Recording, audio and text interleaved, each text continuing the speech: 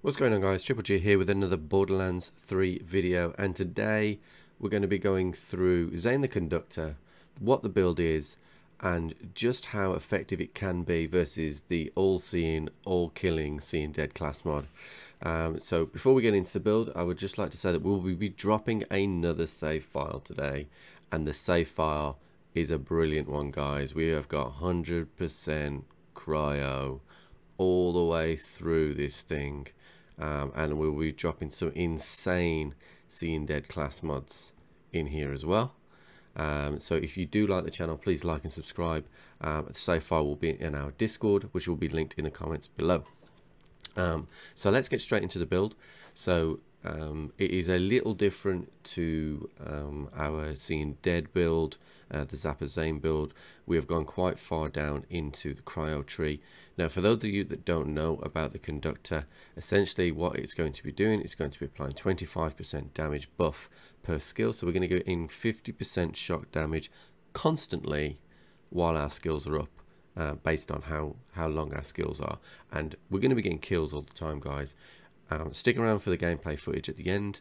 The gameplay footage is going to show a side-by-side -side comparison of the Seein' Dead class mod and the Conductor class mod, this Conductor class mod, running side by side.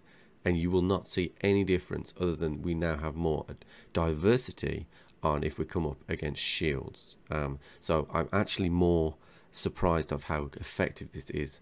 Um, and you, I didn't even have SMG or weapon damage on my Conductor mod.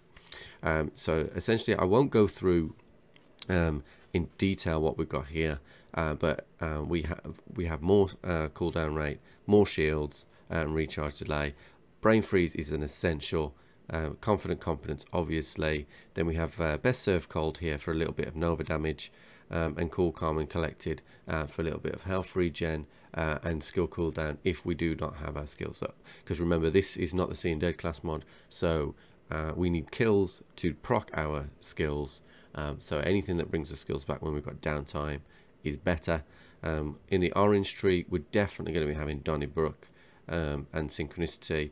And then, then I've got a couple of points for my class mod in, in uh, Borrowed Time.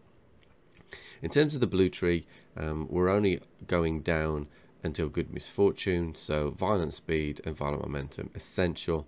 Uh, salvation uh, for a little bit of health regen, drone delivery of course to get our grenades going. Uh, death follows close of course, uh, which is our kind of mini capstone. And then I went for Playing Dirty over violent violence. You could go violent violence if you wanted, uh, but I wanted that extra projectile chance because that extra projectile will get extra 50%. Um, and then good misfortune because we need to get the most out of each kill to keep our skills going up. Um, in terms of the save, save file itself, um, like I said, we're going to be putting in some of these absolute bad boys, including this GGG roll redistributor. Um, so like I said, guys, if you do like this video, please uh, stick around. Look at the gameplay. It is insane how it just doesn't look like you're using a different class mod here. Uh, but uh, I will catch you guys on the flip.